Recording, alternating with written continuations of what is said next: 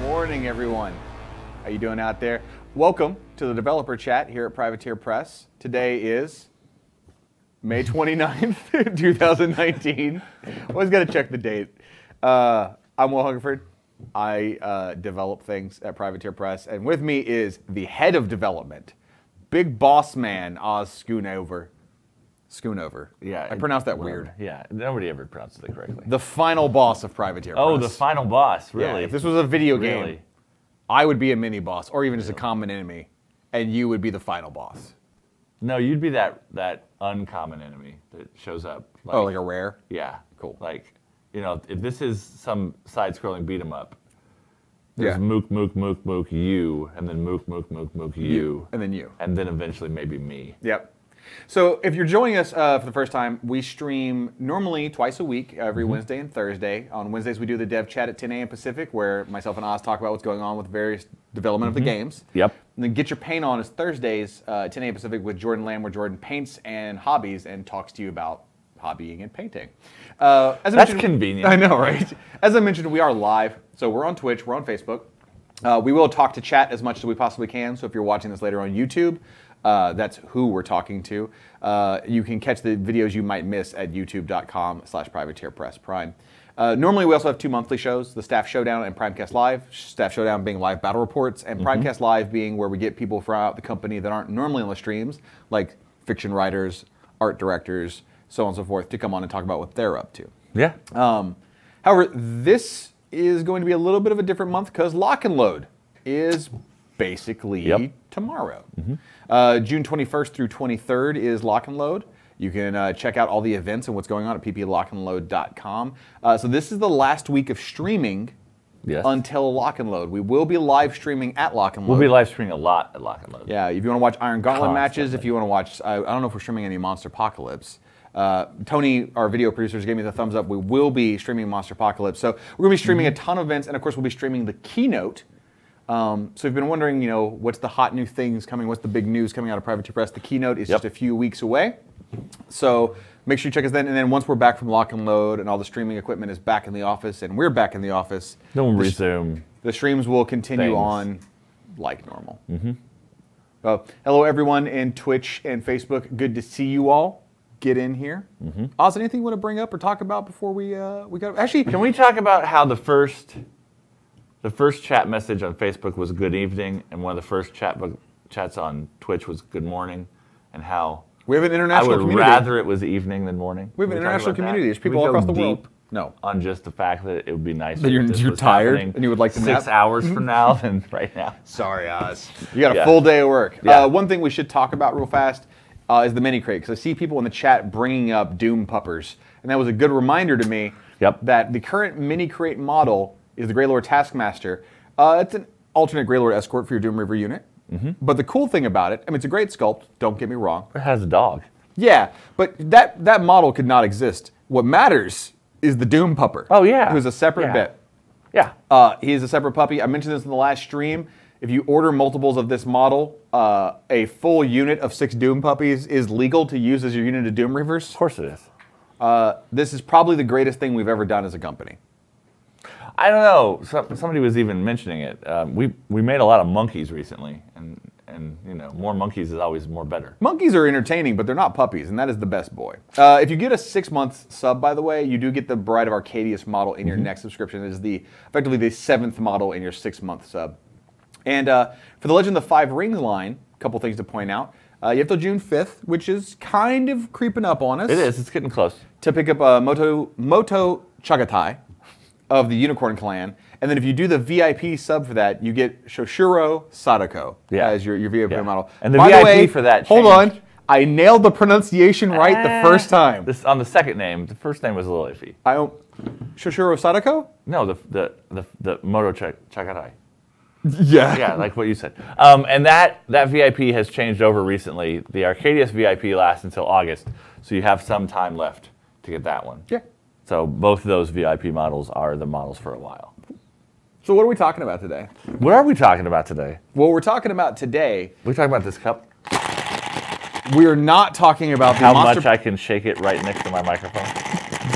The audience loves you so much. it's like this in the office every day, yeah, by the way. it is. Except it's mostly him doing it. Obviously, as you can tell by the stream. bursting into song and whatnot. I went and saw the new Aladdin. It's got good songs. um, what we're talking about today is we've been talking a lot about Oblivion. Uh, when we did, obviously, the Infernal CID, then we did the Oblivion CID. That's all related to the same product. Yes. And that product being the Oblivion box set, which we showed actually the actual box on last yeah. Primecast Yeah, Live. you guys were, were showing off all kinds of cool stuff. And Oblivion, if you haven't heard, real fast, I'll give you the super fast recap of it. It's a box set coming out. Inside, there's going to be a revised rules digest, which we'll have more information about that at Lock and Load, I believe. Um, there's going to be this massive campaign book that has a ton of brand new art and fiction talking about the history of the Infernals, the creation of the world of, of the Iron Kingdoms, like where things started. Like Yeah. we're going like Big Bang kind of like levels of, of depth here. Uh, what the Infernals are all about, why they're here, how the claiming is coming about being, how humans got magic, all kinds of just really great lore. Then you've got the introduction of the Infernal faction, which means you get to get more information about the individual units and all the, the masters. Then all, all the archons and all the Order of Illumination and all the things rising up to fight the Infernals, which are all brand new models coming out. You get a deep dive into all of them. And then one thing we've mentioned a couple times, but we've never really gone super hard into, is that there's a full narrative campaign in the book. So you get the revised rule book, you get that big campaign book that has all that stuff I just talked about. You get the Hermit of Henge Hold model. That's the arson wizard we showed off on the Primecast. Oh, Arson Wizard. Yeah, he's got a giant pipe bomb. Okay. Uh, and you get a deck of cards. These are called Omen cards, and those are for use in the, the narrative campaign. What I want to talk to y'all about today is the narrative campaign. This entire gameplay structure that's being introduced in Oblivion and sort of what the idea with it is. So, um, to start, so that people don't get confused, we're introducing the Oblivion campaign system and then the first campaign in the book. What I mean by Yeah. that is, you get the rules to run an Oblivion campaign. Um, those are all going to be branching tree campaigns, which we're actually going to show you an example of what the, the Yeah. scenario tree looks like here in a second. Yeah. Uh, and it gives you the generic rules of how you can play it. This, these are campaigns for two to four players. Play them in your house, play them at the local store, play them wherever you want to. Um, they will last you anywhere from four to six weeks. I mean, if you play a lot of games very quickly, you could probably knock it out in a weekend, but that's Yeah. like That's a a- lot of War Machine. That's a lot of games. yeah. That's a lot of games. So the the campaign system is the generic core rules, the structure of how to do that, and then you plug in a specific named campaign mm-hmm. into the structure, and then and play it with its unique scenarios. And what the campaign introduces are narrative rules unique to that storyline, and then the scenario tree, which is the storyline that you play through in mm-hmm. that campaign, which has its own unique rules in every single one of them. What the Oblivion campaign ultimately does is when you play it, you choose an agenda: corruptors or guardians. Yeah, it's a lot like some of our other leagues we've ran over the past couple of years, where you you you don't play based on factions, you play based on concepts Yeah. of are you the good guys or the bad guys, or like what's what's the goal of your army? Mm-hmm. Maybe there's a Khadoran general that's trying to destroy the world, and a Khadoran general is trying to save the world. Exactly. So you have some flexibility in what you're playing there. Yeah, and, and you can actually change factions and lists between your games. All the thing you can't change is your agenda. In this one specifically, in all the Oblivion campaign system ones, uh, corruptors are people that either know the Infernals are coming, or uh, and are like actively working for them, or have been corrupted by the Infernals and don't realize what they're doing is actually furthering the Infernals' agenda. Guardians are people that either are just trying to fight against all the chaos, or actively know the Infernals are coming and everything they're doing is trying to stop it. So Yeah. you can kind of craft your own narrative no matter which faction you're playing. You could be a Legion of Everblight Guardian. You could be a Legion of Everblight Corruptor. Uh, if you play Infernals in it, there's a call out box that says if you're playing Infernals, you may play a Guardian if you Yeah. feel like it. But narratively, that doesn't make a lot of sense. We did want to leave it open. It's a narrative, and you're allowed to craft whatever story you want to. But for the most accuracy, you're playing Infernals, you probably want to play Corruptors. Yeah. So you choose your agenda, and then the trees are separated into tiers. There's five tiers. So tier one is always a prologue. These are usually games that don't involve casters. These are going to be Yeah. small scale games, Yeah. 25 to 35 points that have special rules. They're like op- opening skirmishes. You play through the prologue scenarios in line, and then depending on if you're a guardian or corruptor, you split. So the tree shows you which scenarios you're supposed to play. Yeah. The basic concept is this every tier is a week worth of play tier two, tier three, and they have their own scenarios. whichever scenario you're on on your specific tree, you have to play that one at least once. And when you play it, you are the protagonist mm-hmm. of that scenario. And if you are the protagonist, you'll have asymmetrical rules of what you're supposed to do. If you win or lose as the protagonist of your active scenario, that marks which scenario is your next active scenario. Something funny happening, Oz? Yeah, there is. Don't, don't just keep No, no, no. talking. No, just you're going to stop No, and keep talking. explain what's happening. No, um, so I love this shirt. I love this shirt. I wear it every once in a while, even though Tony tells me not to wear green. Oh, can And you if- see through it? And yeah, there's like there's like a shot there's like a shotgun blast of green on this shirt. So like It looks like you've been. there's a little bit. you're like magical. I am. This I'm- is why you don't wear green. Hey, hey, it's fine. You can wear green. It just shows the background. Maybe we like the background. If I had a fully green suit that was just like, just like my face showing, it would be the best thing ever, Tony. I, I Can you feel it me up with necessary to tell our audience how often the fully green suit comes up in oh, conversation during streams. Yeah, it's a thing. I just want only my face showing. I know what I'm doing next floating stream now. Yeah, floating next to Hungerford's face. But yeah, so this is an awesome shirt, and Asphyxious spells are green, and so you can't see them. They're invisible, like parts of my body. Yeah, it's fine. What does that even mean? I don't know. I am so happy you're on the stream today. Mm-hmm. So, as a reminder to everyone of the topic we were talking about, Yeah, so whichever uh, scenario you're on, mm-hmm. every player has their own scenario tree, and you have your active scenario. And that week, when you play your active scenario, you're the protagonist. If you win or lose, that tells you which scenario you go to next. Mm-hmm. When you're playing against other people in their scenario, you're the antagonist. If you win or lose those, what matters is if you lose them, nothing happens. Your opponent just got, gets a better placement on the tree. But if you win, you earn uh, Omen deck draws. And Yep. this is a resource you get throughout the campaign. You tally them on the sheet. And then before any game begins, um, you see how many you have. You can spend any number of them, but the most you can spend is three. So say that you've won a bunch of people, won a bunch of games as the antagonist. Maybe you've earned five deck draws. Before the game begins, you go, I'm going to spend two, and you would draw two cards off the deck. After the game's done, those cards get put back into Yeah, the deck. yeah. The idea with these cards is it, it says as the antagonist, it gives you a benefit for winning and it lets you earn special Mm-hmm. things. Sometimes these cards will say like play immediately and they're immediate uh, effects. And they're all like strange, like omens important. So like one is the orders of the enemy might have been confused. So you draw it and it says like play immediately. After your opponent is done deploying, you choose one of their units and force it to redeploy, but it can't be within nine in- inches of where it was. Yeah. Or there's one that says play immediately. No models can ambush or AD. And then you have some that say, you may play this when a model takes damage, and then this effect occurs. Yeah. So some of them are triggered, some of them are happen immediately. So you're playing through the campaign. Every week, you have your one scenario that you have to play at least once as the protagonist. In all of your other games, you are the antagonist for other mm-hmm. people's protagonist games. Yep. Once everyone has played their one game as protagonist, Hamilton's trying to slide Oh, off he's me moving around. you all move up to the next you all move up to the next tier and how you did in your active scenario says where you go next and there is fluff blurbs and fiction added to every scenario that tells a story so as Mm-hmm. you play through sort of the way you go you get your own unique take on how you're interacting with what's happening in the Yeah. scenario if you do really poorly the story is like your forces are just losing supplies and you're becoming more and more desperate if you do really well and there's Mm-hmm. Yep. all these little hidden subplots and things that might come up Yep. eventually, at the end of the, the next to last tier, everybody funnels back into the final tier, which is one scenario that everyone plays simultaneously. The last scenario of the campaigns are always a mega battle.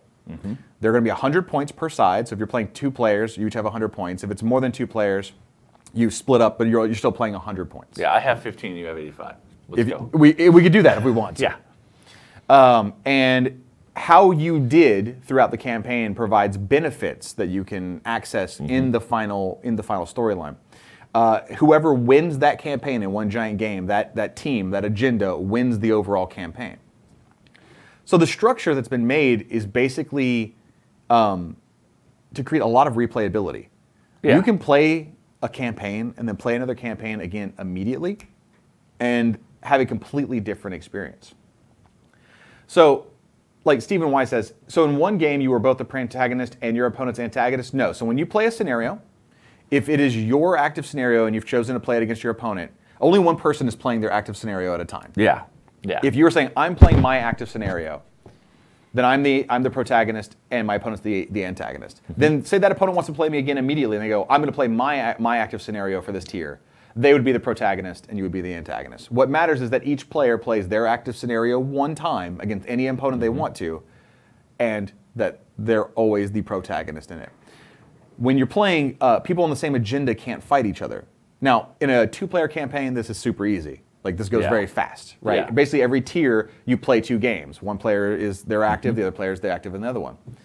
In a three-player game, there's rules to split it up, where basically one player represents an agenda and the other two players represent the other agenda, and it tells you how the games work out for that. And then in a four-player campaign, you split into two even teams. Yep. And this all still works out where you're basically going to be playing a handful of games every every tier. Yeah. So to show you kind of what this looks like, we actually have uh, an art illustration of the campaign tree as it appears in Oblivion. Now there is a print-friendly version of this. This is a literally like a piece of art to, Yeah. to Yeah, yeah. demonstrate what the the first campaign looks like, and you'll see that each of those little bubbles has the name of the scenario you're supposed to be playing. So, tier one you see is the first three prologues that everyone plays through.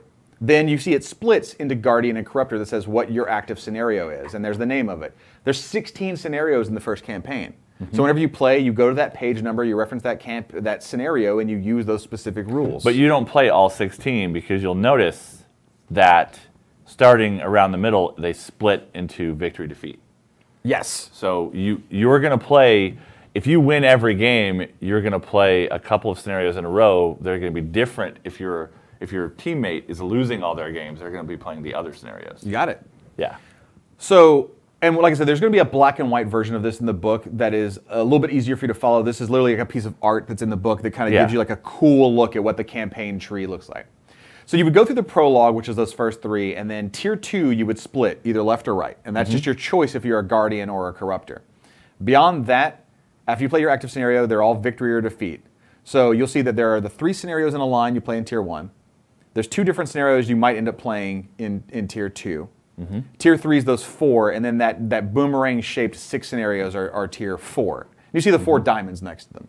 Yeah. Then those all funnel back, and in this specific campaign, uh, Stygian Prophecies is the name of this specific campaign that's in the Yep. book. Uh, Gateway to Oblivion is the, the final mega battle that you play with everyone involved and how everyone performed in the, the scenario just prior, that, that sort of boomerang shaped tier four, indicates benefits that you can earn when you play Gateway to Oblivion.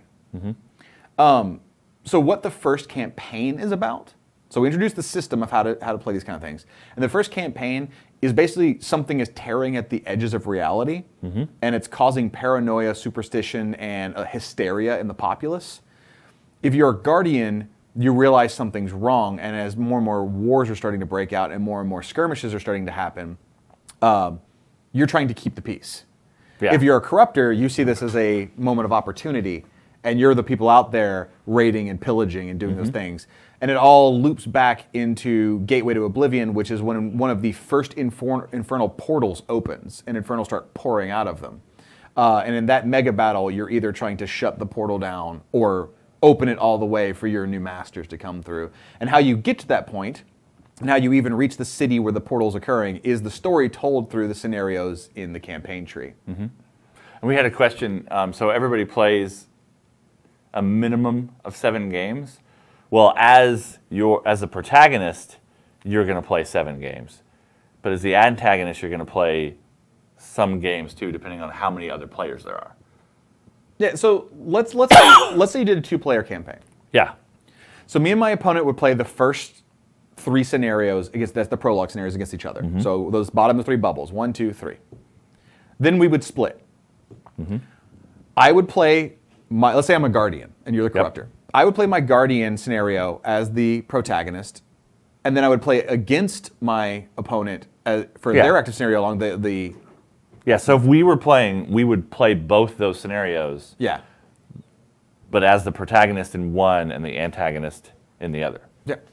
Then we would split based on victory or defeat. So basically, in a two-player game, at each tier, we're going to play two games. Yeah. So we're looking at three for the prologue, then three, five, seven, nine, and then the mega battle ten. So a two-player campaign is going to be exactly ten games of, of War Machine.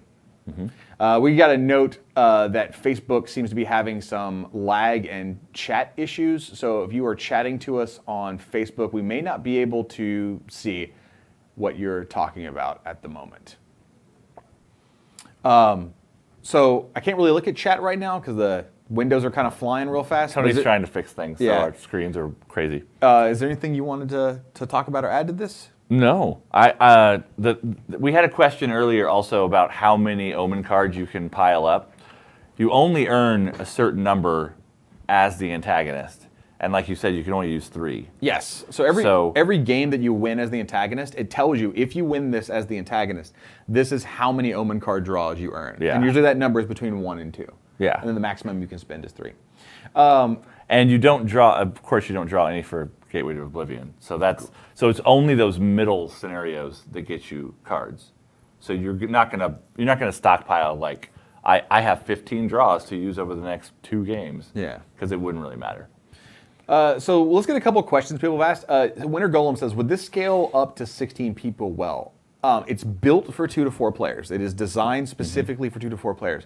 You could make alterations to add more players if you wanted to, but you are looking at a much longer, much more involved campaign Yeah. if you do that. And the idea is that if you have eight players, you just break it into two pods, basically. Yeah. Because you can play anybody's antagonist, but if you're constantly shifting it back and forth and all over the place, it gets a little bit more confusing for who's doing what and whose turn is when and those kind of things. And also, that mega battle would be a little And rough. the reason we capped it at four is that's a four person, 100 point game, not a 16 player, however many points game that would be, Yeah. which is crazy. Um, would you see a lot of questions right now about Chuck Dogwood, but he's not in this campaign. No, Chuck Dogwood is still in the background during the Oblivion campaign. He, he makes his full on appearance after. After the, the, the, the timeline split that is Riot Quest. Yes. Unless Chuck Dogwood is just the working name of some existing character. It's not. What if it is? It's. I'm telling you, it's not. what if it is? What if like the world gets so broken that Baldur changes his name to Chuck Dogwood That's not what happened. and gets a puppet? Uh, Anyway. so JP Great One says, "I'm curious to know about core rule changes or updates to the game besides narrative. Can you guys answer that? Not yet. We're going Uh, to talk about that more at Lock and Load because we're doing a bunch of, of hangouts and things at Lock and Load. Mm-hmm. So we will we will be diving, uh, diving deeper, diving, diving diaper. Mm-hmm. Um, more, I got Tony with that one. Uh, we'll be we're going more into what that kind of stuff is at Lock and Load and then afterwards. Yes. As in, in previewing what else is in Oblivion. Yeah, there's a lot of information coming up. Uh, somebody asked, are there going to be any Warjack Beast or Horror bonds in the campaign? Not in the initial one, but the way it's been built is the system of how you interact with it, and then, like I said, we plug in new campaigns. So we're going to release more campaigns that if you own Oblivion and you have the deck and the book, Yep. in the future we're just going to give you free campaigns that you can slot in. So that's 16 new scenarios or more every single time we do that. Uh, some of those might introduce bonds later on. We wanted Yeah. this the the book one to be the basic idea because Yeah. for somebody who's never played a branching tree narrative campaign, it, it, you got to read the rules and, and see what's going on, and then you got to read every scenario and, and deal with their special rules. And for a casual player, it's just at the edge of, of like, okay, this is a, you know, I've got to play my army, and then I've got these new things to deal with. And we wanted to not overcomplicate things too much, but we will probably add bonds in the future. Um, Joe Tortilla asks, can we expect the Oblivion themes dynamic update before the box? Probably not. Striking on 11 said, do you I have a would guess that that would be timed really close to, re- to the release of that box. Yeah. Striking 11, is there a limit on Omen cards? Yes, three. Well, three per game that you can play. There's no upper cap on how many you can earn, because you'll if you if you don't spend them, you'll earn way more than you can ever use. Yeah. So if you if you earn one and you don't use it, it's available next game. But if you earn like four in the first two games, you're only going to use three Yes. in that third one. So the main exciting thing, I think the one one thing we really wanted to educate people on with this is give you a first kind of look at it. And Yeah. obviously you want to sit down and read Yeah. the rules, but also to let you know that this is the beginning of a new style of league. It's a mm-hmm. new style of, of narrative stories we'll be doing for War Machine in the future. In that, when you have Oblivion and you've got the core rules of how to use these campaigns, we can just release a, a PDF that has a new campaign.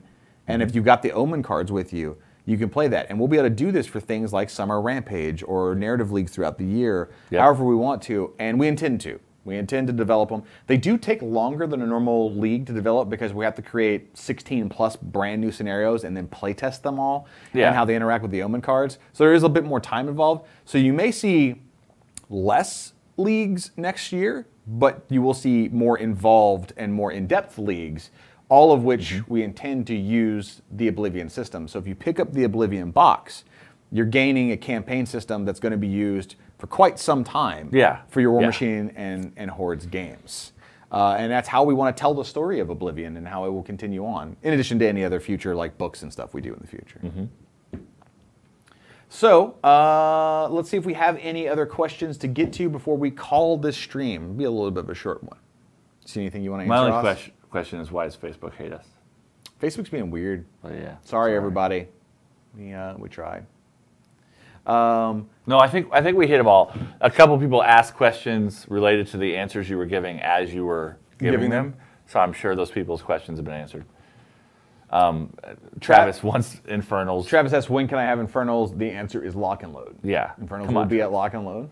I had we had a really interesting question earlier. This that you guys were drinking out of these cups, Yes.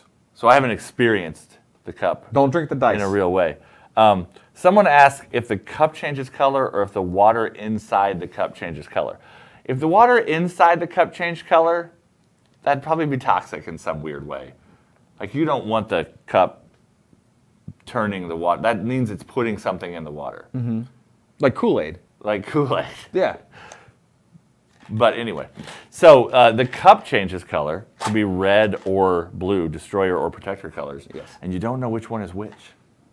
And- Unless they're nu- are they numbered on the bottom or something? And there is the mythic brown cup. Oh, the brown cup. There's really? One. No. It's like a golden ticket kind of thing. Like, No. Like one in every million is brown. No, I'm lying. Oh, okay. Um And Winter Golem wants to know when will the Infernal rules be released? Shortly before Infernals come out. We're actually working on getting those in War Room as we speak. Yep. So you got to do uh, damage webs and all those new things that are part of the Infernals. Yes. So the last question we want to answer before we get out of here, somebody on Facebook said, uh, "Did we say when the book and Oblivion and everything releases? Uh, expected around Gen Con." That's our that's our target date is a pre-release at Gen Con. Yep. So expect the Infernal models to be at Lock and Load, and expect Riot Quest and Oblivion. Uh, Riot Quest will be at Gen Con, and then expect Oblivion either Well, at, at Gen unless Con. a truck, you know, loses a tire or something crazy. Sure. Like we always hope that all the releases we plan for something like Gen Con will be there, but sometimes sometimes things miss boats. Yep. But it should be there, as should be Oblivion, but we'll see. If you get the brown cup, by the way, it does turn the water brown. Don't. There's no brown cup. You said it. It's not my fault. So everybody, join us tomorrow for Get Your Paint On at 10 a.m. with Mm-hmm. Jordan. And then last reminder, uh, no more streaming this week. Next streams you'll see will be a lock and load. Yep. After after May 30th, we are not doing any more streams until Lock and Load. Yep, June 21st through 23rd. So mm-hmm. you're going to have a few weeks without us streaming. I don't Yeah, know- Tony's got to pack all this stuff up and walk it over to the hotel, like one box at a time. It takes him a long time to get it over there. yeah. Yeah. Uh, Alec wants to know if there are going to be Archons at lock and load. I actually don't know. Do you know? It's it's very it's very difficult to tell exactly which models will be at a show. Even up to the point of like we are aiming for bunches of infernals, but there will be production issues. Like we always talk about. Production sometimes has problems with certain models. Molds don't work right, you know, that kind of stuff. Sure. So we have a tentative, this is what we'd like to take to lock and load list. Yeah. But that doesn't mean it's going to be there 100%. That's why we don't promise things to you guys about what exactly will be at lock and load. Like there's going to be Monpoc pre-releases at lock and load too, There'll be Infernals. but we don't know what Monpoc models will be there. And we don't know if every single Infernal will be there or if the first 10 Infernals will be there or whatever. It just depends on the closer we get, the more we know. And then you, you'll never know until you show up at Lock and Load and see what's on the store shelves. So sorry, Alec. Don't know if Archons will be there. Hopefully so. If they're not, I will glue wings to Hamilton and throw him at you. Also, um, uh, Dorian watched the live stream last year at Lock and Load and heard my horrible, horrible, horrible allergy voice. Yeah. I have been staying on allergy pills even though I don't have any problems with allergies right now. It's called addiction. Just to keep the, it in my system. Yeah, so that's called addiction. If I do have to live stream next year, the one day I have to live stream, I won't be a complete and total wreck with no voice. Because I would like to avoid that if possible. Bye, everybody. Yeah, we're done. Enjoy the rest of your Ooh, lunch. Ooh, pork angel. The rest of your lunch. Yeah, a lot of people are on lunch right now. Yeah, but some people.